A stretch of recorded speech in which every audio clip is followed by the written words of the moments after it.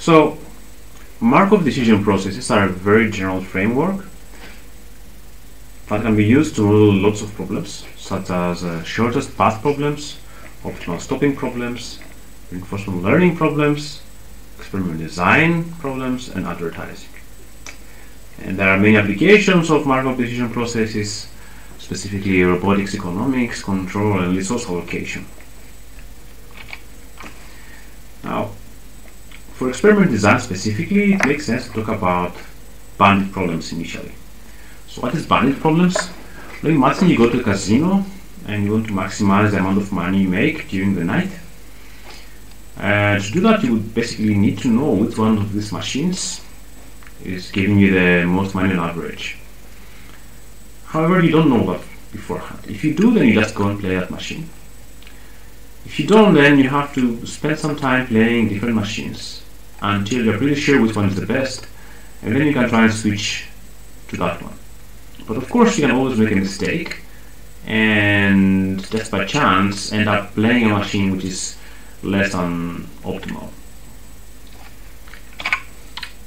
This is called the exploration exploitation problem, and it can be also be visualized when you think about the problem of optimizing a function which is not observed. Let's say you want to find the maximum of this function. So typically this is a simple problem relatively if you can observe the value of the function. So the maximum is there. But if you cannot, then it's a bit trickier. Let's say that you can only select some point x and then instead of observing the value of the function, you need to observe a noisy measurement that on average is equal to the value of the function.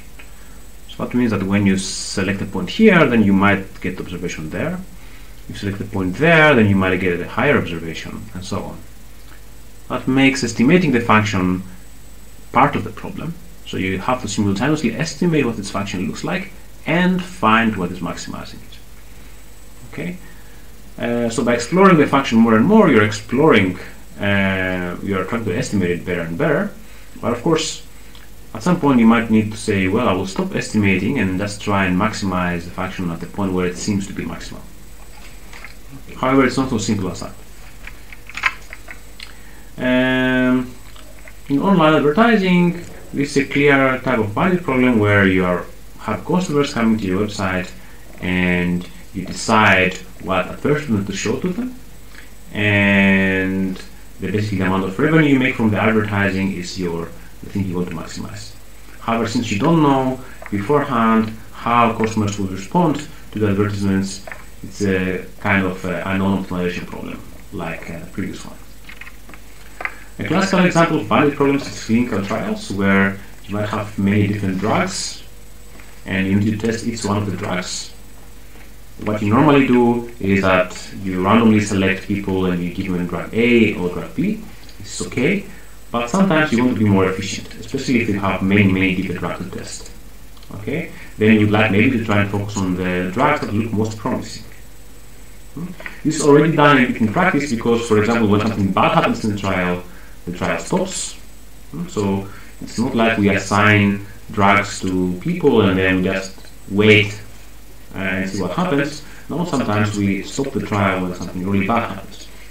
And you can think about extending this to the case where you would like to adapt the trial so that as you get more and more data, you change the ratio with which you assign different drugs to favor the ones that look most promising. But you still don't want to stop assigning the drugs that are less promising.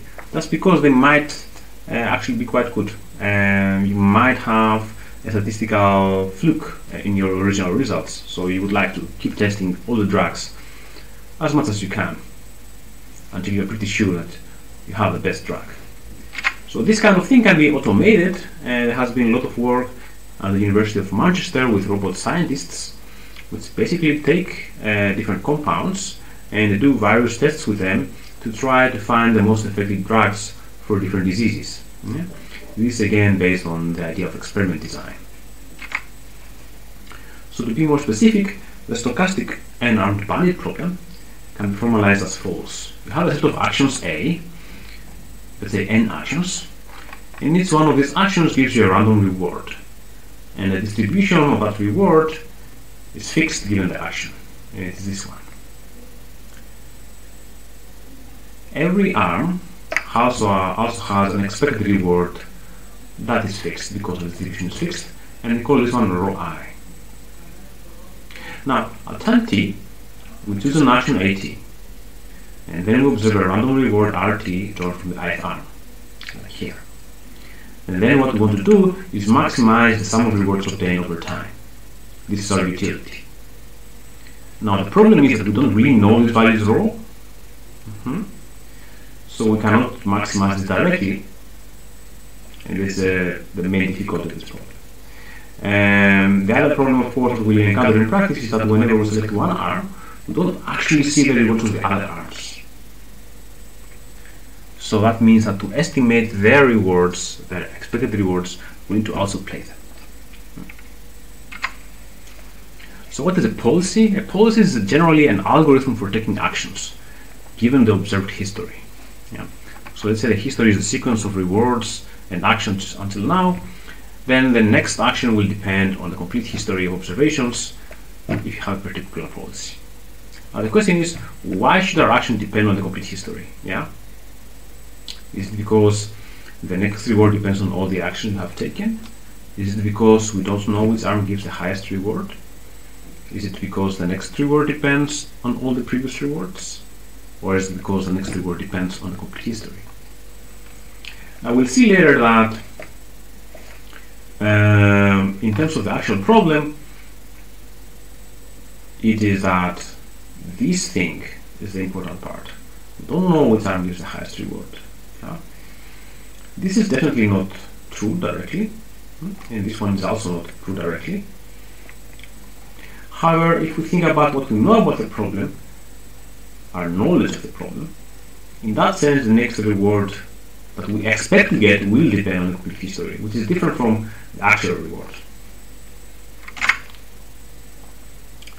So let's talk about a very simple example. Let's talk about the expected utility of a uniformly random policy, taking the same uh, every action with the same probability. There, the expected utility of a policy is basically the expected sum of rewards over time. We can move expectation inside, and we know that we take a reaction probability 1 over n, and rho i is the expected reward of the i arm. So that means that our total reward is t over n, t over the average reward over all the arms. Yeah. Of course, that means that we're not doing as well as we could, so as the maximum we can get here is basically, uh, what is the maximum? Well, if you look at all possible policies, then the maximum we can get is max pi yeah is going to be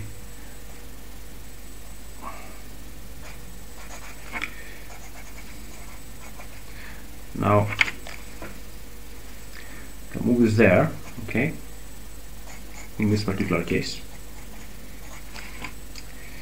and this is basically t times rho star where rho star is greater equal to rho i. Okay is the one that's maximizing everything. So we know we're losing quite a lot if we do that because we could be getting rho star over all time but we're getting instead the average reward of all the hours So if you have a general policy, you can still calculate its uh, utility. It's not very difficult, uh, just like uh, same thing as before. Now the difference is that if you look at general policies, like policies that learn from the data, then these policies will select actions depending on the complete history. Now to calculate the utility, we need to calculate the probability of obtaining a specific history. Yeah? And this is kind of the problem with these uh, bandit problems. If you want to think about the effect of adaptive policies, then you have to think about how these policies will develop in the future. So before we do this complicated uh, idea, let's talk about simple heuristics for the normal reward case. Let's say you have a running average of the reward obtained by each arm. So that hat theta is the average reward you obtained as n is the number of times you played arm i, and r is the total reward you get from this arm. So whenever you play this arm, you increase the reward that you have stored for the arm by the reward you get, and you increase the number of times you have played the arm by one. Then you can select a policy that selects the arm that maximizes this estimated reward at the next step. Yeah.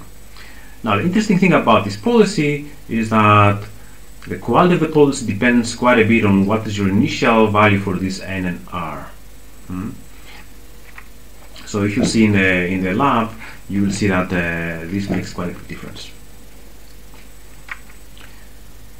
In particular, if you select an n and an r that are small, then you might get stuck playing a suboptimal r.